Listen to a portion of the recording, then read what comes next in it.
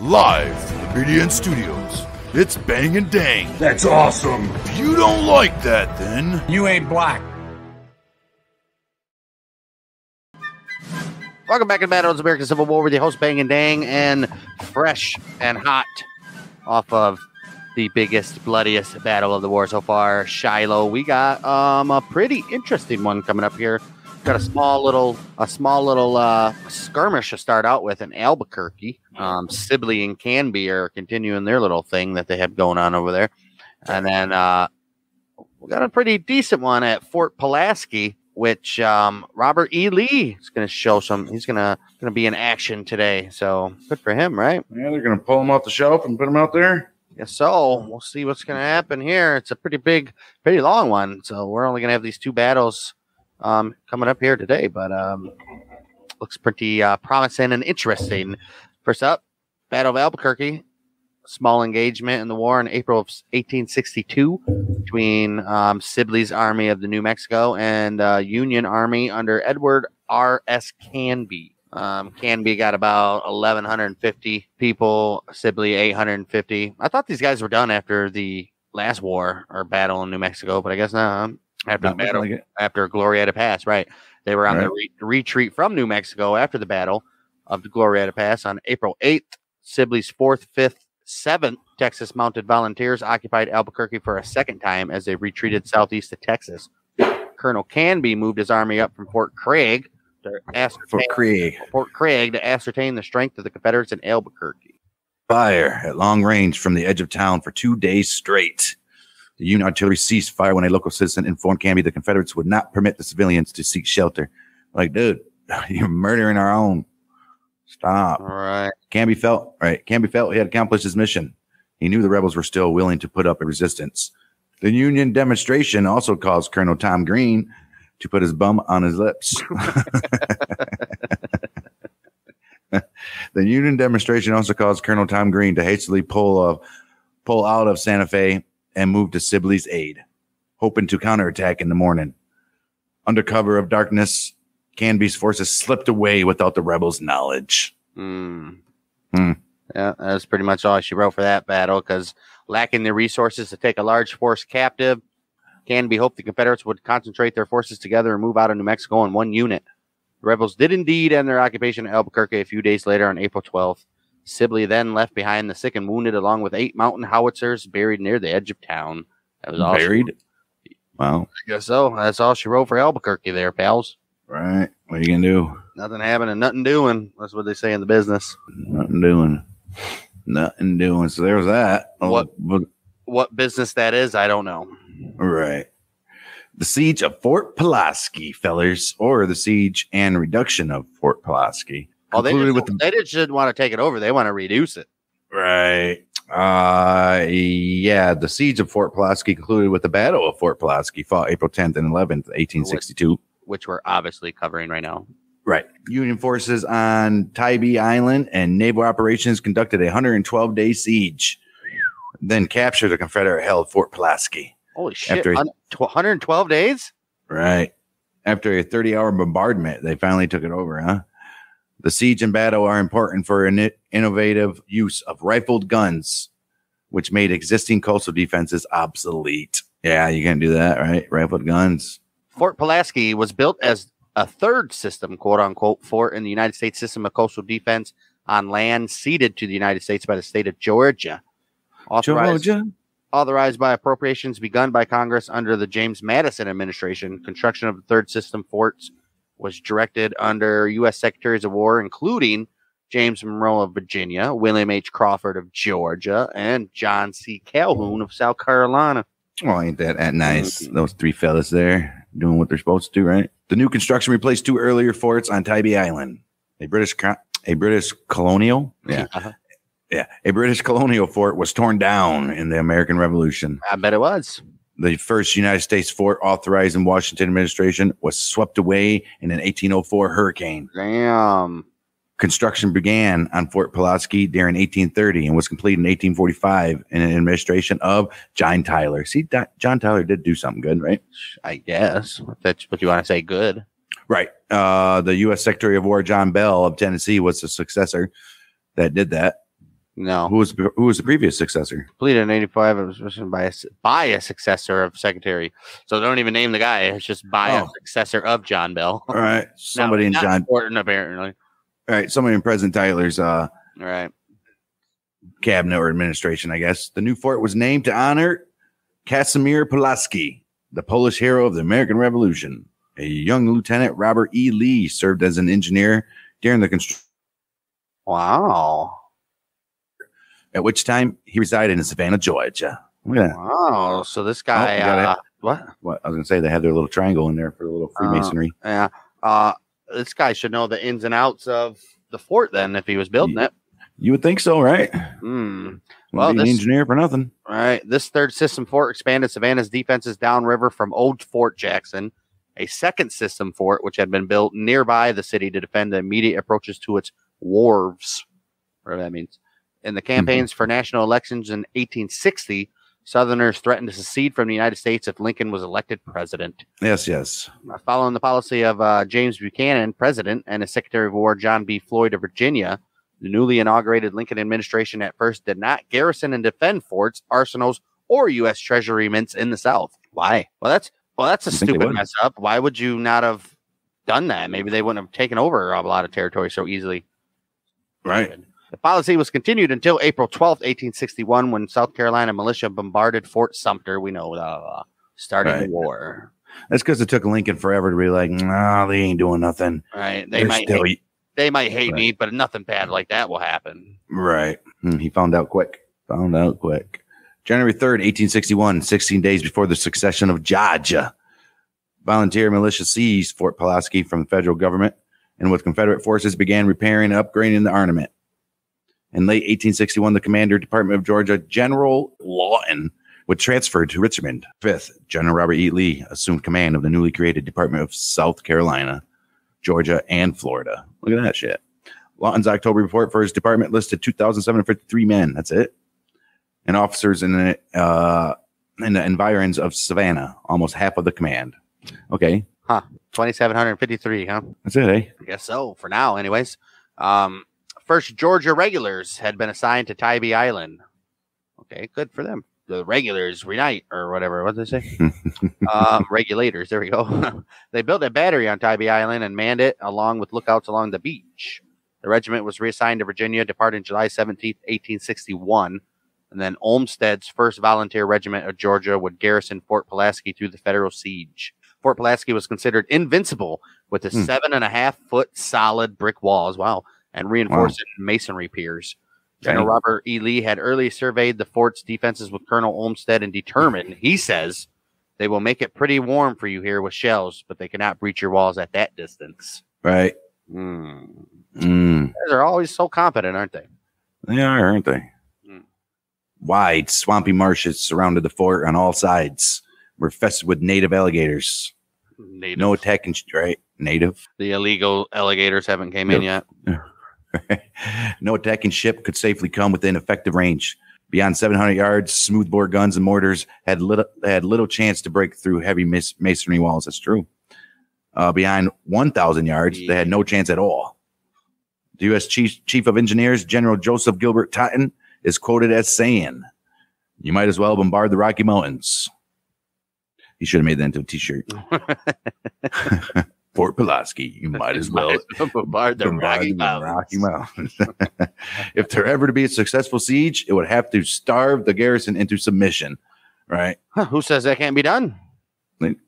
You got to figure out a way to block uh, supplies. Right. Fort Garrison duty with untrained troops made up for lost time.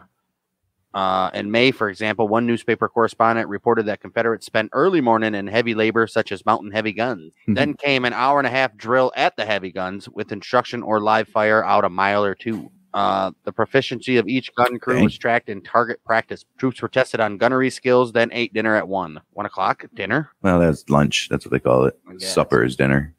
Right. The rotating fatigue parties returned to work while officers reviewed infantry tactics, then instructed the men for an hour. Fatigue parties had recall at six. Nice. Then, at dress parade retreat, the garrison performed infantry drill, including combat formation evolutions. Supper was followed by an hour's recitation of Army regulation with taps performed at nine. Jeez. Well, you know what?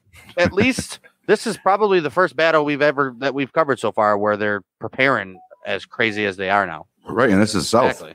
Well, it's it's a, a hell of a fort to to try to keep. I would be training some bitches too. Well, there was a lot of other things that was important to keep that nobody trained. Operationally, General, Rob, General Robert E. Lee, headquartered in Savannah as commander of the Department of the Coast of Southern Carolina, Georgia, and Florida, as we said before. He was returning to the fort that he had helped construct in his early U.S. career. It's like going back home. Right. I'm going home. Mhm. Uh, he had been instrumental and connected with channeling tidewaters around the fort where a hurricane had swept a previous structure on the same site.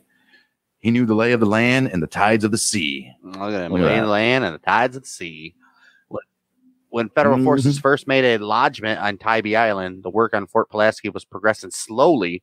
but Robert E. Lee's judgment as the district's commanding general was that the river cannot be forced. He says, "Old Fort Right. Old Fort Jackson Right. had been armed, strengthened, and forms an interior barrier." He says again. Savannah's channel had been blocked. In December, Lee reasoned since the Federals had sunk a stone fleet in the Charleston harbor, they did not intend to use it. Why? Uh, he says we must Hmm. endeavor to be prepared against assaults everywhere or elsewhere on the southern coast. To that end, additional Right. ships were sunk by Confederates in water approaches that led behind uh, Fort Pulaski. Yeah, might as well, right? Ain't Right, no ships getting in. We sink all these ones. Can't nobody get in now. Lee brought Commodore Tattnall from a James River command, where under imminent attack from Union monitors, he had landed sailors to expand Richmond fortifications immediately after the Battle of Hampton Roads.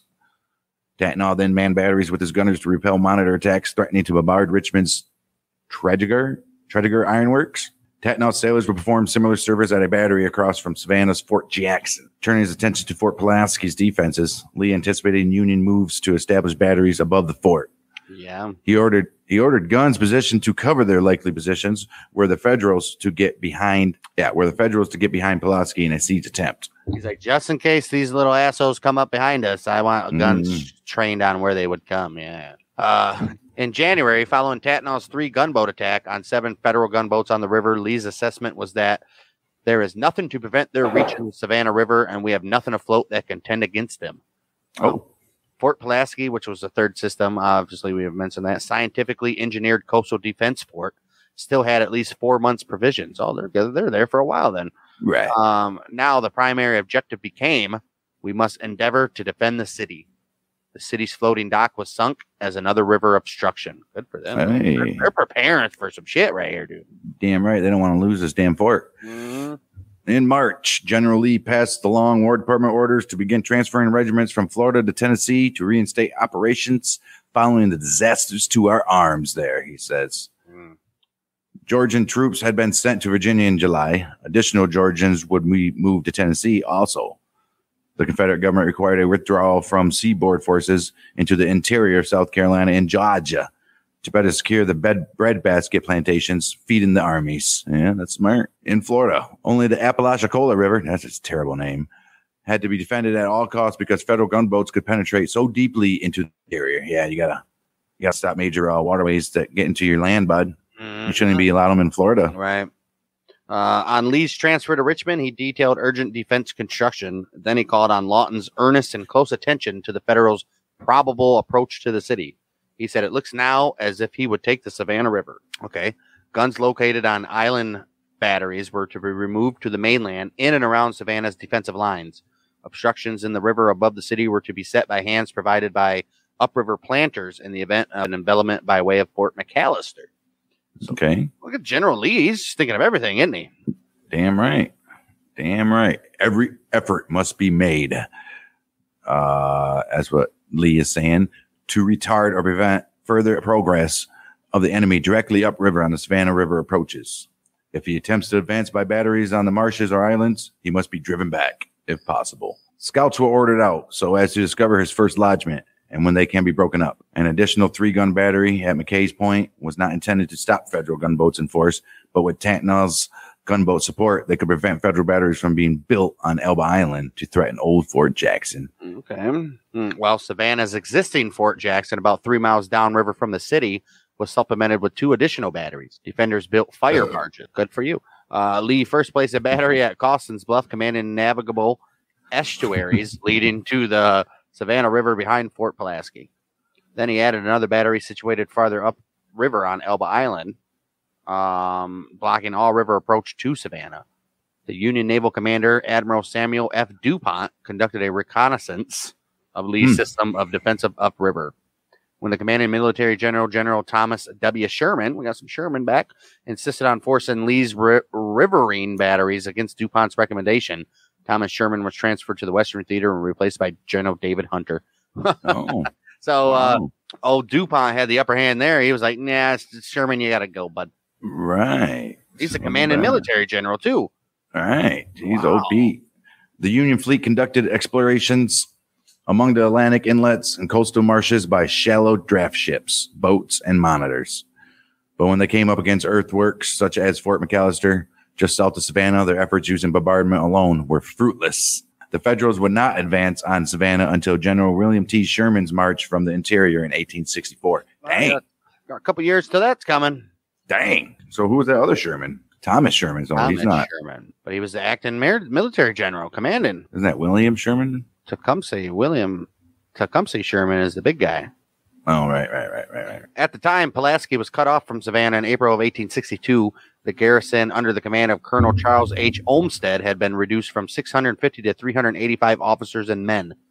They were organized into five infantry companies and had 48 cannons, including 10 Columbiads, five mortars, and a four and a half inch Blakely rifle. Uh, the Confederate Tybee Island battery had been previously dismantled and abandoned, and their guns relocated to the fort. Hey, The fort had been provisioned on January 28th with a six month supply of food. All right, good. I think you at least put a year. Right. In consultation with Lee, Olmsted had distributed armament on the ramparts and in the casements to cover all approaches. Several were placed to cover westerly marshes and Savannah's north channel. All right. Confederate marauders burned Sea Island cotton crops to deny them falling into federal hands. Hmm. Why don't you just pick them? Right. Well, they weren't, they weren't ready yet. Who knows? Navigational aids like the Tybee Lighthouse were dismantled and burned. Yeah, like we ain't giving them no fucking uh, Nothing. good uh, navigational stuff. Nothing. Report from the field had Confederate troops setting fires to everything that might be used by advancing federal troops. Everything. So, well, yeah, Lee already said we can't really stop them from coming here, but we can stop them from getting into this damn fort, though. All right. Uh, August of 1861, Secretary of War Cameron had authorized a combined expeditionary corps of Army and Navy. Brigadier General Thomas W. Sherman commanded Army elements, and Flag Officer DuPont commanded the Navy. The Union forces intended to recapture Fort Pulaski as federal property to close the port of Savannah to the rebels and to extend their blockade southward. First, they needed a coiling station, a coaling station for the uh, blockading South Atlantic Squadron. Coiling? Okay. Co- coiling? Coal. Choline. Coaling station, right. Hmm. It then could serve as a base for expedition. Fort Mhm. Sumter would not be retaken until 1865, but the Battle of Port Royal answered the immediate requirement for a nearby staging area. So that worked out for him. As Union forces went about taking Port Royal, Commodore Josiah Tattnall III, CSN, and his Mosquito fleet mounted an, an active defense, harassing elements of the Union's South Atlantic Squadron. Over the next few months, Tattnall, an experienced U.S. Navy commander, trained and fought Royal, Battle of Port Royal Sound. Now, yeah, we did that episode. Go back and look at it. right. An experienced U.S. Navy commander is Tattnall, trained and fought his Confederate squadron into a flexible task force for coastal amphibious resupply and riverine operations. Mm-hmm. Mm-hmm. Okay, good for Tattnall. Yeah, that mosquito fleet. Everybody know, remembers that, right? Um, With the approach of the federal expedition on Port Royal, including 15 warships under the command of Flag Officer DuPont, the Confederate Savannah River Squadron, sortied with gunships, CSS Savannah, which was the flagship, the Samson, the Lady Davis, and the tender Resolute. These four, along with the converted slaver privateer Bonita, met eight of DuPont's 15 U.S. warships on November 5th and were outgunned and outclassed. Dang. They sure were. 15 of them, huh? What are you going to do? Get outgunned and outclassed. Right. That's usually the case with uh, what's going on there, huh? Right, right, right, right, right. They withdrew overnight into Skull Creek, Georgia. The next day, they attacked again. hmm Under covering fires from Old Savannah, engaging nearby heavy Union ships, the Samson assisted amphibious operations, taking off numbers of the Port Royal garrison. Resolute, returning from returning from delivering dispatches to the city of Savannah, evacuated the garrison at Fort Walker. She then landed at Pope's Landing, Hilton Head Island, and spiked Confederate guns abandoned there. Oh, jeez. Yeah, man, can't get anything in uh, federal hands. We established that. The Savannah landed a shore party of Marines to support Fort Bar- Beauregard under five from Union warships, but the fort was lost before reinforcements could arrive. Yeah. The ship took off. The ship took off. The ship took off the garrison and returned to Savannah for repairs. Yeah, gotta go. Got Uh, to go. After building up facilities on Hilton Head Island, the Federals began preparations for besieging Fort Pulaski. The Union expedition next captured Tybee Island. Uh, the Union then advanced on Fort Pulaski uh, beginning on November 24th, 1861. Following reconnaissance that Confederates had abandoned Tybee Island, Flag Officer DuPont ordered forward an amphibious raid with three gunboats at the Tybee Island lighthouse. Under a two hour ship's bombardment, the Confederate pickets set fire to the lighthouse and withdrew. Uh oh. Commander Christopher Rogers um, Mhm. of the USS Flag led a landing party of sailors and Marines and 13 surf boats to occupy the lighthouse and the Martello Tower and flew the national flag from them. Overnight, a reduced company set false campfires to misdirect the Confederates ashore. Oh, look at that. Little uh, little misdirections there, huh? All right. Two days after commanding flag officer DuPont and General Thomas Sherman made a personal reconnaissance. And on November 29th, General Gillmore, the command's chief engineering officer, with three companies of 4th New Hampshire, took formal possession of the entire island without opposition. Mm, The Navy set the logistics train in motion.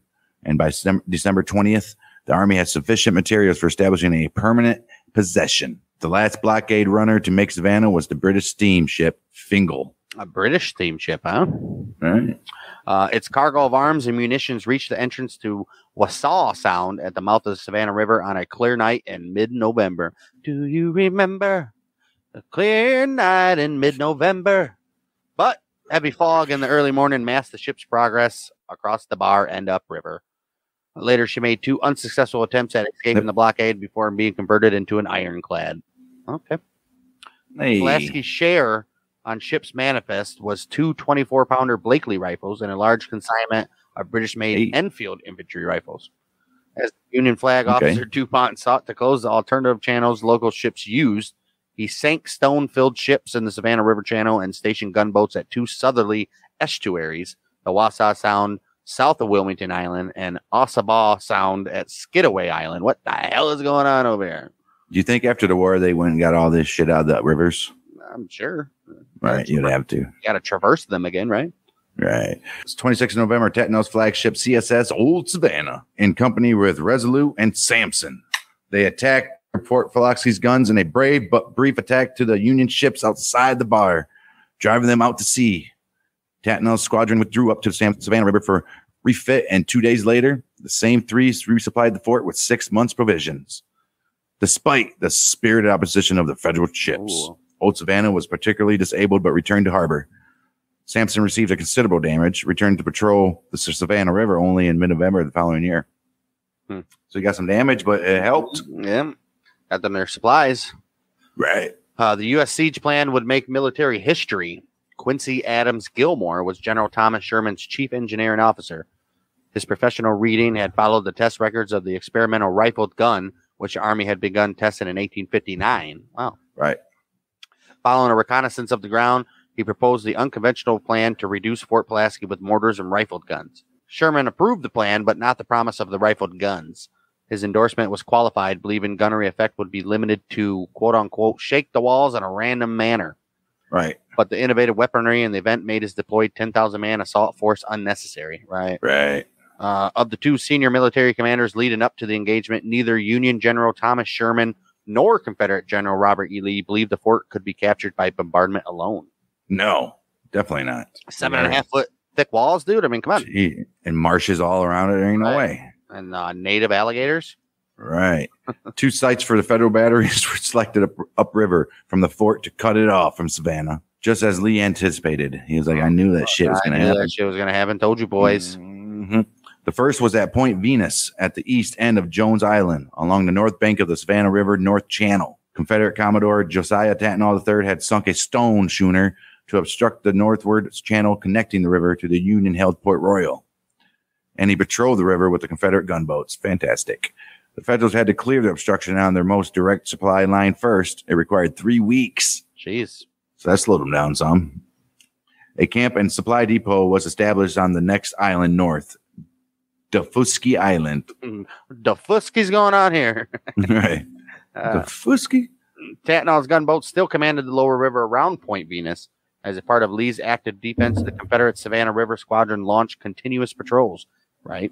Their naval gunnery required the work along the river by Union besiegers to be done at night. Uh, the Federals' guns had to be pulled by hand through swamp over movable tram sections, and the men working in brackish alligator infested marsh, wow, sinking in over their waist most of the day. Ooh, that's sketchy, dude. I wonder if anybody got ate.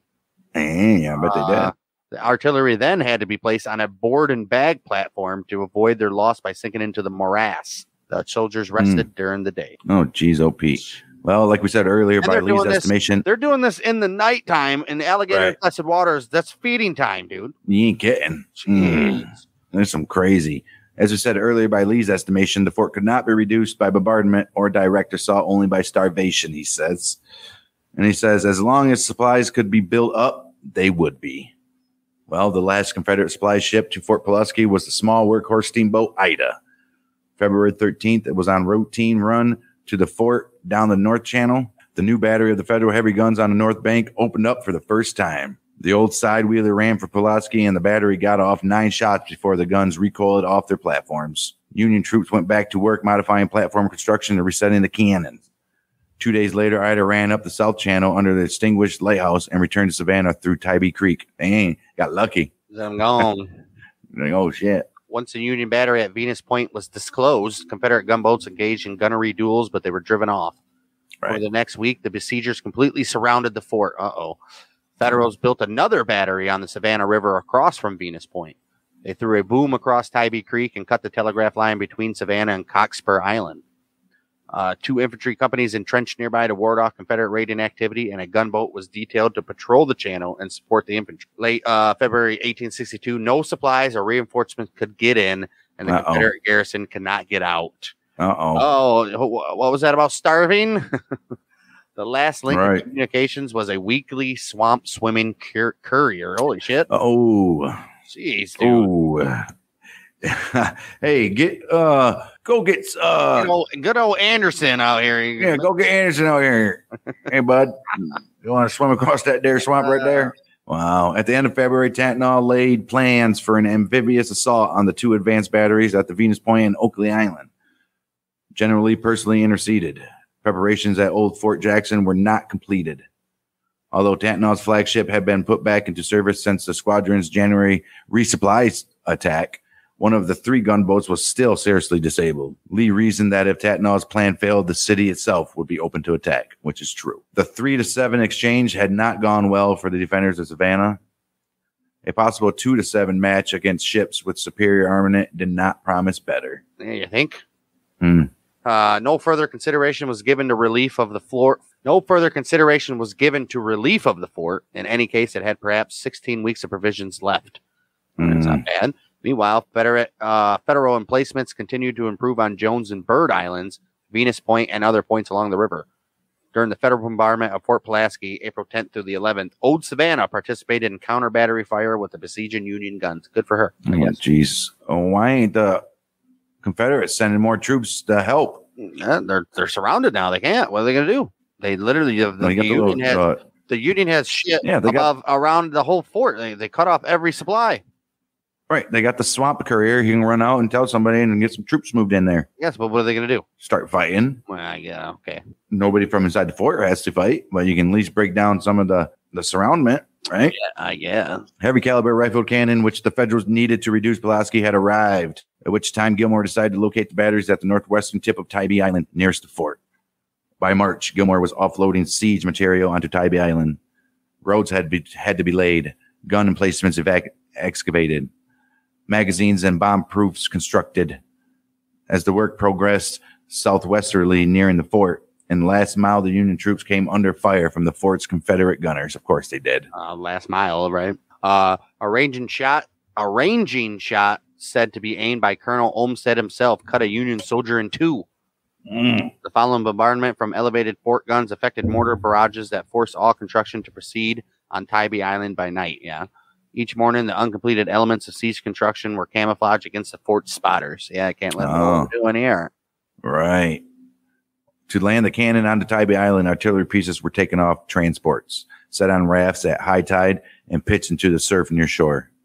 At low tide, manpower would alone would drag the guns up the beach. Jeez. 250 men required to move a 13 inch mortar along a sling cart. Oh my! Jeez. Later, later Union amphibious operations would employ contraband labor for much of this work. Escaped slaves. That's what Yeah. they call them, contraband. Right. Jeez, and they're uh, and the Civil War is about ending slavery. We're here to uh, free these guys, but we're going to call Right. them contraband. right. Get out of here. Along the two and a half mile front, their engineers had to construct almost a mile of corduroy road made Wow. of bundles of brushwood to keep the guns from sinking into the swamp. That's hard work there, bud. While the offloading proceeded day and night according to the tides, Confederate bombardment from Fort Pulaski gunners required all federal movement into the island limited to nighttime Yeah, only. do it under dark, man. Mm. Uh, after a month of work, 36 mortars, heavy guns, and rifled cannon were in position. Jeez. One of the 13 inch mortars of Battery Halleck at 2,400 yards range was given the task of signaling the open, opening of the bombardment. The battery would proceed by shelling the archers of the north and northeast faces with plunging fire, quote unquote, exploding after striking, not before. Okay. Right. So I don't want these. I don't want these uh, um, shells exploding before they hit. All right. The four batteries closest to the fort were each given specific fire and mission missions. Battery McClellan at a range of 600 1,650 yards with two 84 pounder and two 64 pounder James rifled cannon, which were old 42 and 32 pounders rifled, Oh, obviously. Was to breach the Pan Coupe between the south and southeast faces and the adjacent embrasure. A Pan Coupe is a blunted point of a multi-faced fortification. Oh, so it's like a, if it was a star, it'd be the point of the star, you know? Right. Right. Okay. Or blunted point. No, so it'd Right. be No. it- yeah. It'd be the it'd be like- the edge. right, right, right, right. Uh, battery Sigel. Seagull. Seagull. Seagull. Seagull. Did we do this? Did we do this before Well, Seagull's been definitely here before yeah. with Bugsy? Yeah. Is Yeah. it Seagull? Seagull. Bugsy Siegel. Bugsy Siegel. Seagull. Battery Sigel at 1,670 yards included the 530 pounder Parrotts and a 48 pounder James rifled cannon, formerly a 20 pounder smoothbore. Their mission was to fire on the Hey, look at Bar- these guys. They figured out how to rifle, dude. Now they're rifling Right. everything. I would, wouldn't you? Why, why not? Right. Right. The mission was to fire on the barbette guns until silenced, then switch to percussion shells on the southeast walls and adjacent embrasure at a rate of 10 to 12 rounds an hour to effect wall penetration for the planned infantry assaults to come later. Oh, jeez. Battery Totten at a range of 650, 1650 yards with four 10 inch siege mortars was assigned to explode shells over the northeast and southeast walls or any hidden batteries outside the fort. Jeez, these Real guys now, pounding, pounding them. Yeah. And what did the fort have? I, I don't even remember. I don't think we Not know that much shit. Uh, yeah, it was like 48 guns or something, right? Right. Uh, Battery Scott at 1,740 yards with his three 10 inch and one 8 inch Columbiads was to fire a solid shot and breach the same area as Battery McClellan. Fire was to cease at dark except for special directions, and in the event, intermittent harassment was sustained on the fort overnight. A signal officer was stationed at Battery Scott to communicate the ranging of the mortar batteries Stanton, Grant, and Sherman. Dude, they got they got every single one of their big uh Right. generals here, dude. Everybody's here. Jeez. This must be a major little thing here, bud. It's only a Class B battle. Right. Wow. Yeah, here we got all the uh batteries. Everybody's here, dude. Grant, Right. Lyon, Burnside, Sherman, Halleck, Scott, Sigel, McClellan. Everybody. This is the first Jeez, step into oh. getting to Richmond, though. So Right. Rain squalls on the ninth prevented attack. Wait. Rain squalls on the ninth prevented action, but all was ready for the Federals by April 10th. mm, And the newly appointed commander of the department, Major General David Hunter, sent a demand for immediate surrender and restoration of Fort Pulaski to the authority and possession of the United States Army. Colonel Olmsted replied, I'm here to defend the fort, not to surrender it. Hey, didn't we hear that before? Yeah, uh, fucking White from uh, the last one. Right. And then he ended up Jeez, the- surrendering anyways. All right. Well, the, bombard- the bombardment began at 8 a.m., concentrating on the fort's southeast corner, which suffered greatly. The Confederate gunnery was described by the federal commander as efficient and accurate firing, great precision, not only at our batteries, but even at the individual persons passing between them. Wow. Wow. All that training worked. All right. Uh, as the day wore on, counter battery fire from Fort Pulaski were gradually silenced as their guns were either dismounted or rendered unserviceable. Right. Two of the federal 10 inch Columbiads jumped backwards off their carriages. Uh oh. The 13 inch mortars placed less than 10% rounds on target. Wow. Wow. Uh, but federal pro- federal fire proved effective from Parrott and James rifles and working Columbiad guns. There ensued a law from the fort, but the Confederate gunners reopened an energetic counter battery duel that required the Parrotts to give up their wall assignment and concentrate on the working Confederate guns until they were re-silenced. By nightfall, the wall at the southeast corner had been breached. Uh-oh. Oh, Uh, under periodic harassment, under periodic harassing bombardment throughout the hours of darkness, Olmsted's garrison put several guns back into service. Uh, yeah, it's nighttime Oh, now. It's jeez. time to fix your shit Right. up. Ain't nobody sleeping tonight. That's for sure. Right. Well, overnight, DuPont's flagship USS Wabash detached 100 crew to man four of the 300 pound Parrott rifles, 30 pound Parrott rifles, sorry. In the morning, with the wind picking up right to left and affecting shell trajectory, the Union artillery resumed the bombardment, concentrating fire to enlarge the opening. The Georgia gunners again found targets, described in dispatches as rebel firing good all morning, doing some damage.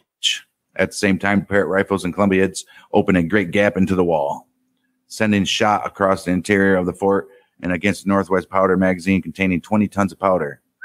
Regarding his situation as hopeless, Olmsted surrendered the fort at 2:30 p.m. that day. All right. He's like, you know what? Maybe I will surrender. I may not be, I may not have come here to surrender, but stuff changes, man. right.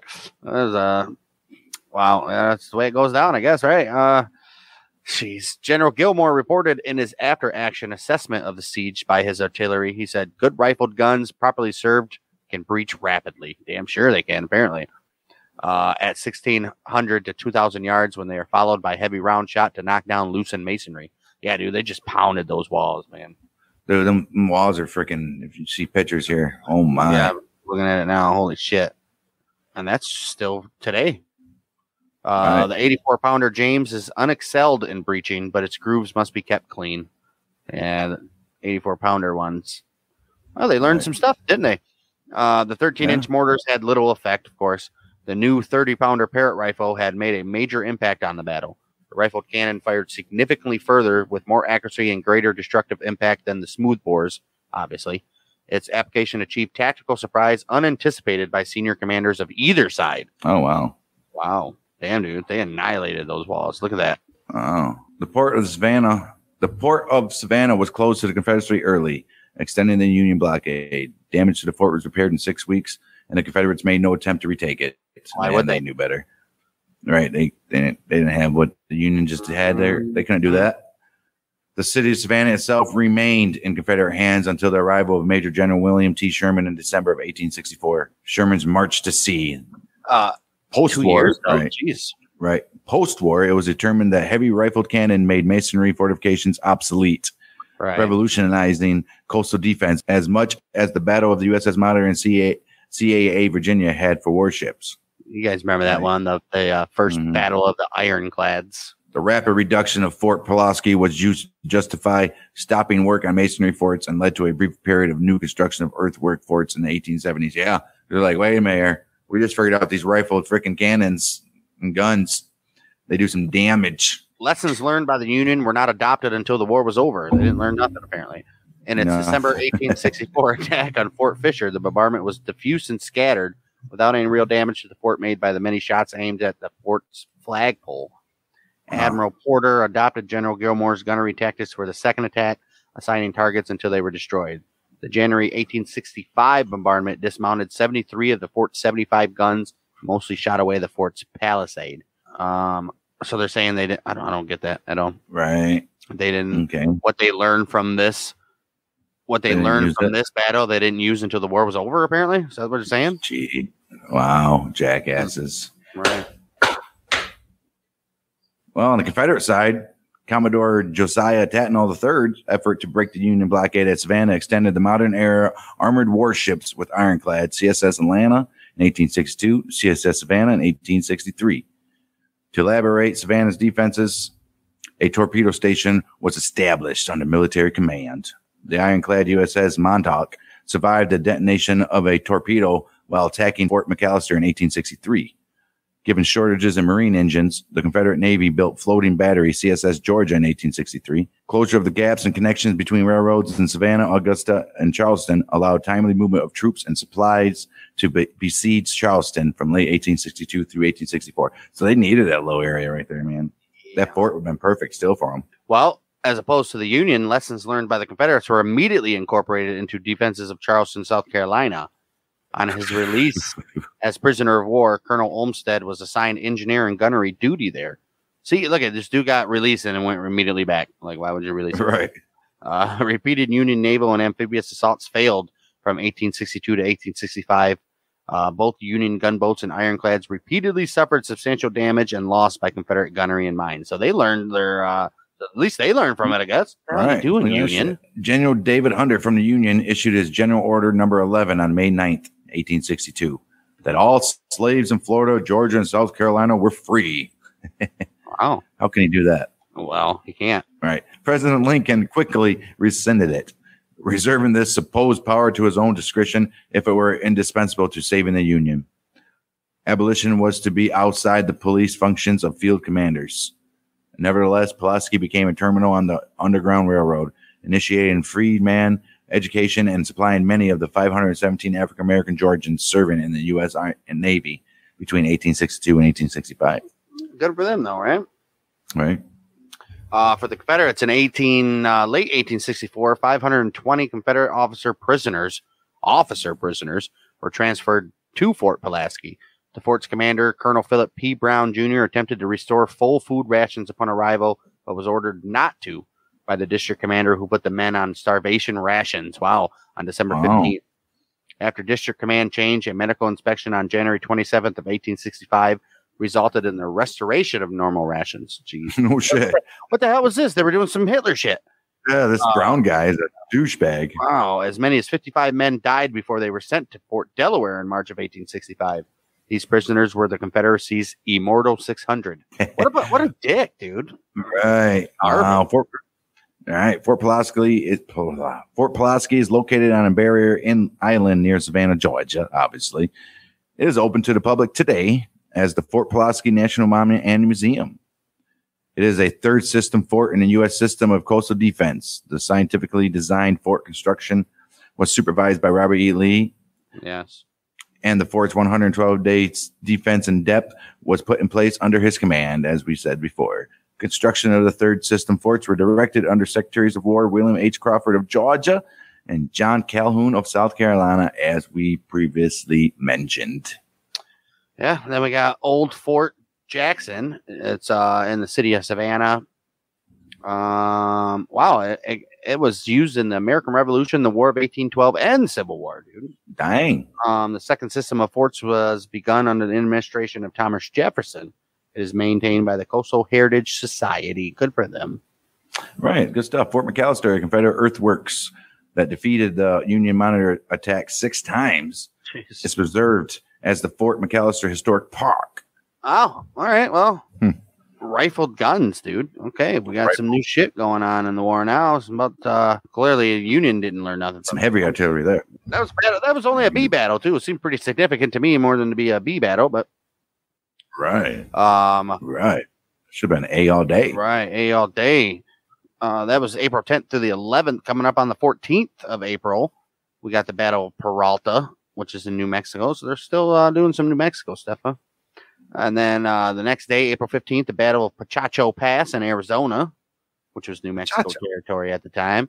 Right. And then um, I'm assuming those two battles are relatively small, so I'm sure we'll end next week's episode with the Class A battle, Battle of Forts Jackson and St. Philip, which we just discussed a little bit here, which took place April 18th to the 28th. And then we got capture New Orleans coming up uh, in a couple weeks, Siege of Corinth, Battle of Williamsburg. There's lots, of, lots of lots of stuff here coming up.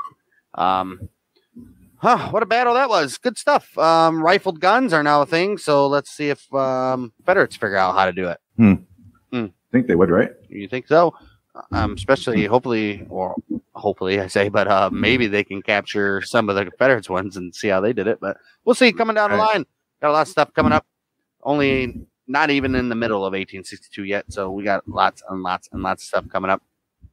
And uh, other stuff. If you guys enjoyed this episode, go check out our other show that we do called Outlaws and Gunslingers, where it's pretty much the same concept as this, except for we cover um, immediately after this. We started the show with um, the Wild West stuff right after the Civil War Wild ends. So, um, Prohibition. We did Jonestown, Unabomber, Oklahoma City bomber, gangs, um, bunch of bank robberies we've done. OJ Simpson case we just finished up. Ruby Ridge, and we got a lot more stuff coming up, including a whole breakdown of the uh, mafia and every single family and notable person for those guys. So go check that out. Battles, not battles, um, Outlaws and Gunslingers, and on this very same network, Bang Dang Network, you can go check out our other show, This Week in Sports History, where we go through the week of important and not so important sports facts and stuff. I Like guess five inning, like five inning no hitters. yeah, that don't exist anymore, but stuff like that. Five. this week in uh, sports history, covering all the good stuff over there. Um, Bang Dang Network, go look us up over there, and we'll be back next week for at least three battles. Most importantly, the battles of Fort Jackson. Uh, nice Class A battle. So we'll be back then. We're the Monthly Michiganders with Bang dang.